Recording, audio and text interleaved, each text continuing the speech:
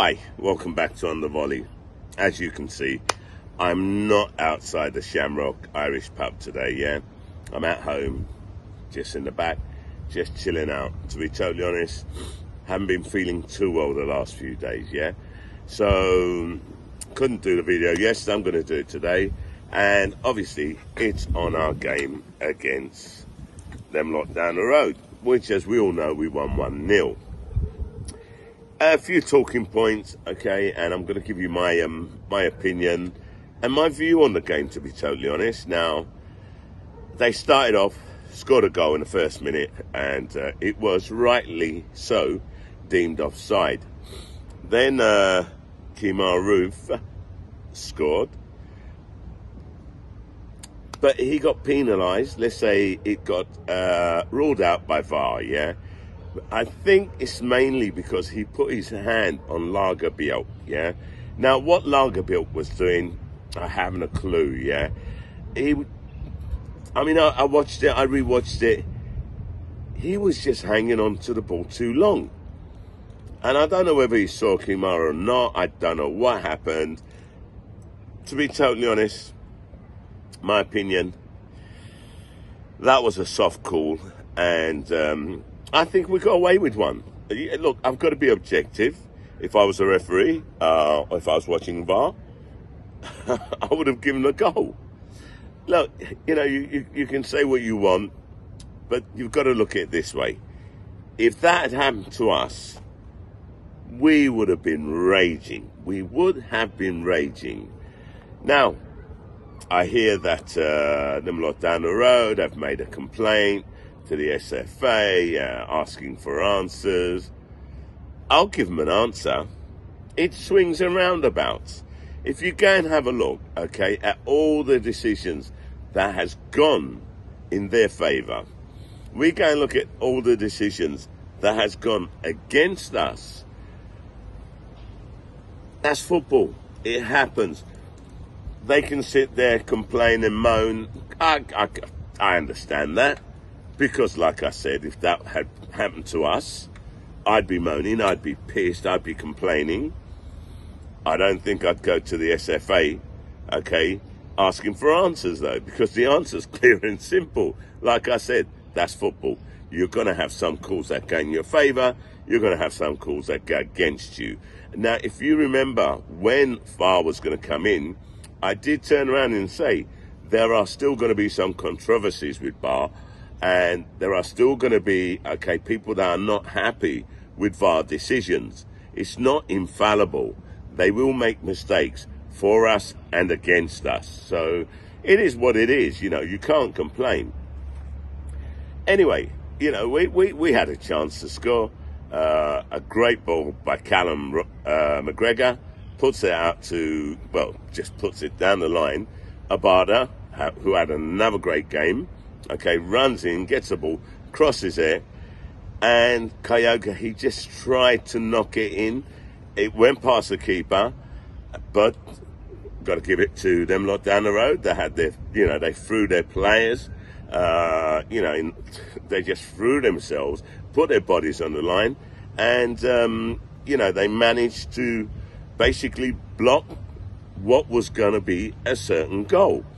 Uh, we had Maeda coming uh, in on that as well, yeah, for the rebound. Fortunately, didn't go to him, uh, and the ball was out. So, so that was our chance.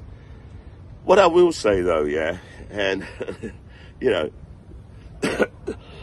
excuse me, Michael Beale is getting a lot of grief, and to be totally honest, I don't blame him.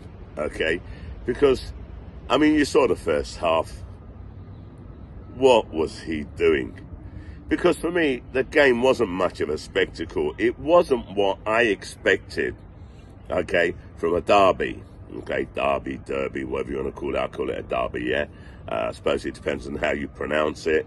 You know, it just wasn't the kind, type of game that I was expecting. And that's not our fault. I, I wouldn't blame us because I think, you know, we're starting to gel it's going to take a while. I said that, you know, Rodgers needs a bit of time. And, you know, winning against them lot down the road, okay, has done him a lot of favours. But let's get back to Michael Beale. oh dear, oh dear. What was he doing in the first half?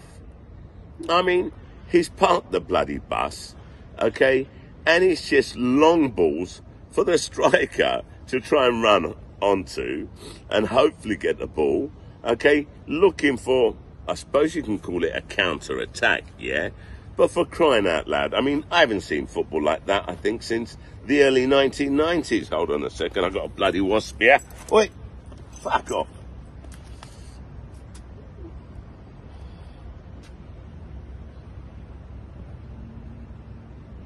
Right, that's it. well, I'm back.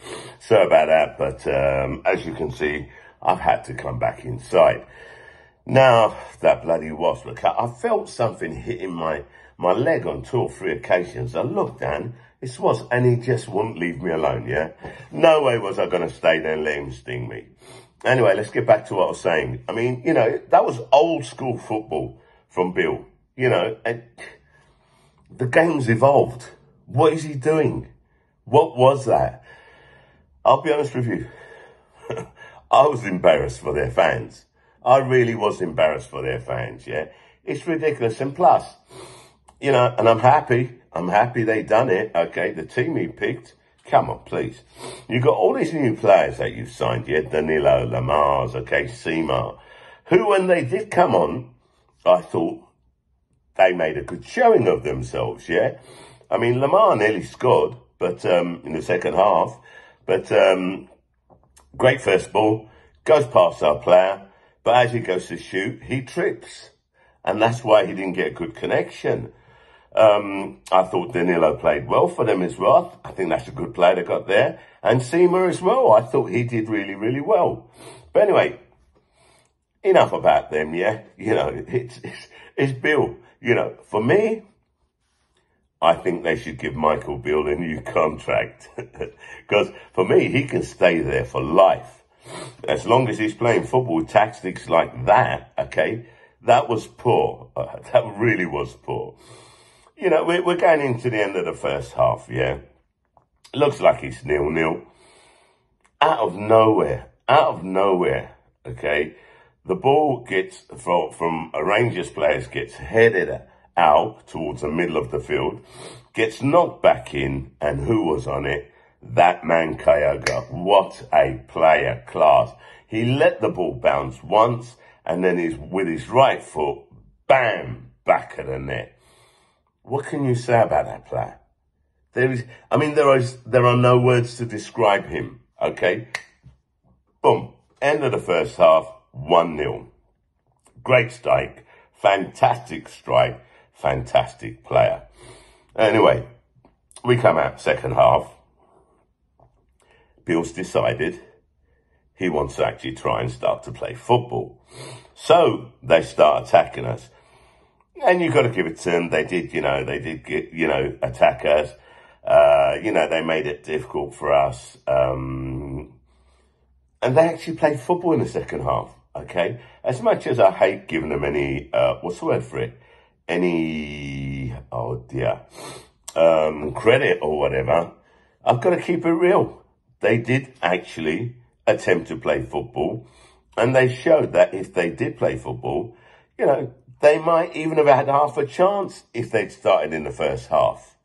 The reason I was happy they finally started playing football and finally started putting us under pressure was that so our defence would have something to do.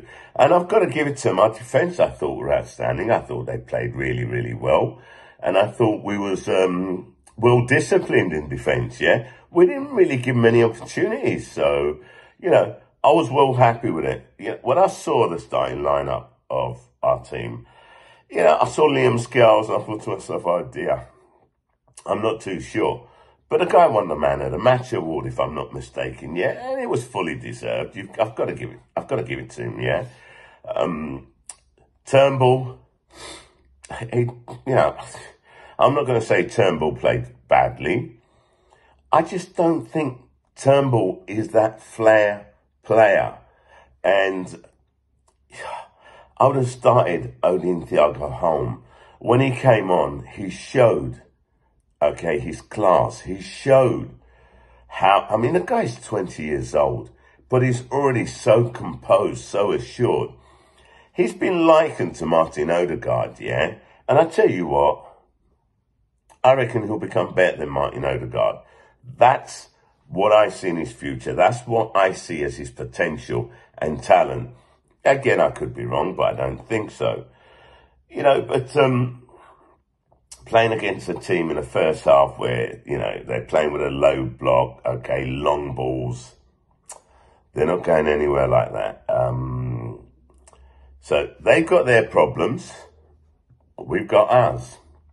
And our problems, and I'll say this even though we won 1 0, is I don't think we had the players on there to, you know, oh dear, you know, to split that, that creative player to split the defence. Okay, McGregor did one. Okay, then we had a chance to score a second goal, and I can't criticise Kyogo, but on this occasion I will criticise him. He made the wrong decision. He had a Abada free to his left. He should have just cut it back to a Abada and it would have been 2-0. Instead, Kyogo took a shot and skied it. Now understand why he done it. He's a striker and strikers are taught to be selfish. Strikers are taught to go for goal. But Kyogo should have just cut that back for Abada. And I'll tell you what, Abada was not too happy with that, yeah? And he made his thoughts felt. Another thing I'll say now, we know Abada has just signed a, an extension to his contract. Um, and like I've said before, doesn't mean a thing. It really doesn't mean a thing, yeah? And I think Abada has been really consistent. He's been one of our best performers on every game that he starts. But when he got substituted, I don't know if you saw the look on his face, yeah? Maybe I'm misreading into it.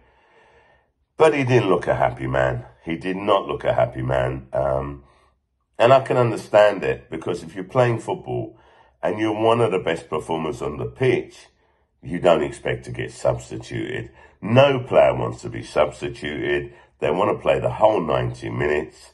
Uh, so when he did get substituted, I could tell by the look on his face, he wasn't too happy about it. He was not too happy about it you know, he must have been thinking to himself, well, hold on a second, you know, you've just convinced me to sign a new contract, sign an extension to my contract. I'm performing, and I think I'm performing really well, and then you substitute me. Mm. Not exactly the best um, thing to do, I would say. To be totally honest, I love Maeda. I would have taken Maeda off, and I would have put um, Yang on uh, and left the Abada on. But hey, that's just me, yeah? I'm glad to see that um, Alex Bernabei got a run out. Like I said, I thought he's been really, really good in pre-season.